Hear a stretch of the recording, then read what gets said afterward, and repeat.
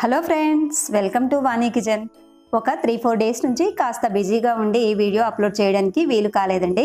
కానీ ఒక కొత్త వీడియోతో మీ ముందుకు వచ్చాను ఈరోజు. అదేంటంటే తందూరి చాయ్. టీ అంటే ఇష్టపడేవారు తప్పకుండా టేస్ట్ చేయాల్సిందే. అంటే అంత బాగుంటుంది. అందులోనూ మట్టి కుండలో చాయ్ అంటే మరింత టేస్టీగా ఉంటుంది కదా.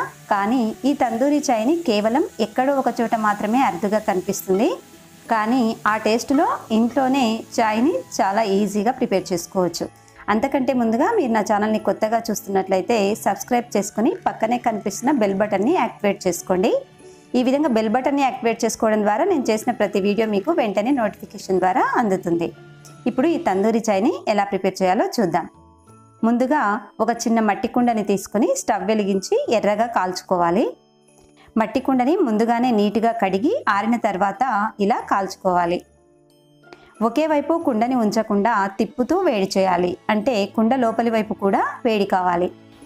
చూడండి ఫ్రెండ్స్ ఇంట్లో టీ చేసేటప్పుడు రెండు లేదా మూడు కప్పుల టీ మాత్రమే పెడతాం కదా? అలాంటప్పుడు టీ చాలా త్వరగా తయారవుతుంది.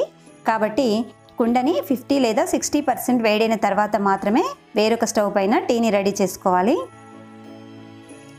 ఇప్పుడు టీ తయారీ కోసం రెండు కప్పుల పాలను తీసుకోవాలి. నేనైతే నీళ్ళు కలపకుండా డైరెక్ట్గా పాలతోనే పెడుతున్నాను. మరి ఇంత చిక్కగా కాకుండా ఇష్టమైతే కొద్దిగా నీళ్ళని కూడా కలపొచ్చు. ఇప్పుడు ఇందులో మనం రోజు వాడేటువంటి అంటే రెగ్యులర్గా వాడేటువంటి టీ పొడిని మన టేస్ట్కి తగినట్టుగా వేసుకోవాలి.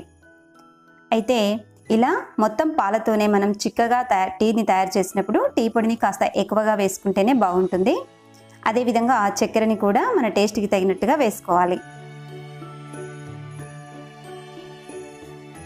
ఇప్పుడు మంచి ఫ్లేవర్ కోసం చిన్న అల్లం ముక్క రెండు ఇలాచీలను కచ్చా పచ్చాగా దంచి వేసుకోవాలి. అంటే అల్లం ఇలాచీ అనేది టీ క్వాంటిటీని బట్టి ఎక్కువగా తక్కువగా కూడా వేసుకోవచ్చు. కొందరు దాల్చిన చెక్క ఫ్లేవర్ కూడా ఇష్టపడతారండి. అలాంటి వారు చిన్న దాల్చిన చెక్కని కూడా వేసుకోవచ్చు. ఇప్పుడు దీనిని లో ఫ్లేమ్లో మధ్య మధ్యలో ఇలా అనుకుంటూ మరిగించుకోవాలి.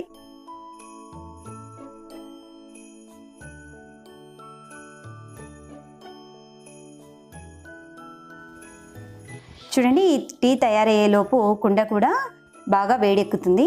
ఇలా స్టవ్ పైనే కాకుండా మీకు బొగ్గులతో నిప్పులు చేసే వీలుంటే నిప్పులపై కుండని కాల్చి కూడా ఈ తందూరి చాయ్ని తయారు చేసుకోవచ్చు.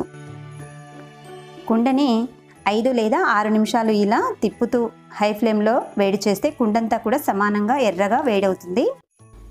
చూడండి ఫ్రెండ్స్ ఇక్కడ కుండ వేడయ్యేలోపు టీ తయారైంది కాబట్టి ఫ్లాస్క్లో పోసి పక్కన పెడుతున్నాను. చూడండి చూస్తేనే అర్థమవుతుంది కదా. కుండ కూడా బాగా ఎర్రగా వేడైంది. ఇప్పుడు ఈ కుండలో టీని డైరెక్ట్గా కాకుండా ఒక గిన్నెలో ఉంచి టీని పోయాలి.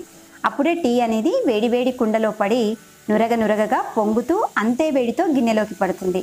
తందూరి చాయ్ అంటే ఇష్టపడేవారు ఈ టీని చూస్తే చాలు అలా తాగేయాలి అనిపిస్తుంది కదా.